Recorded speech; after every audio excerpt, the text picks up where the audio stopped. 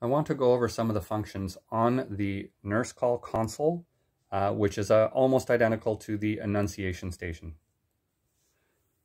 In the bottom corner here, we have a red speaker icon. That puts the phone into speakerphone mode. Brings up a keypad.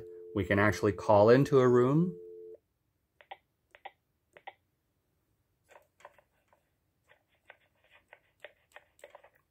And then the green icon will allow me to hang up on the conversation.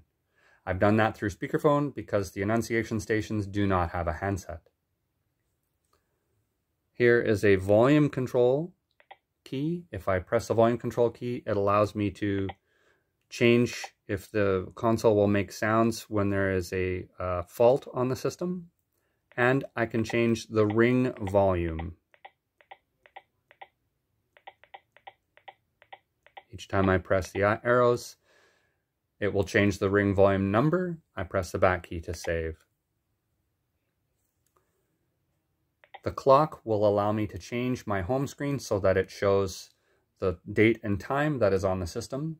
Any nurse call alarms that come in will replace that as normal. You can have a conversation with the room in this case. Hang up.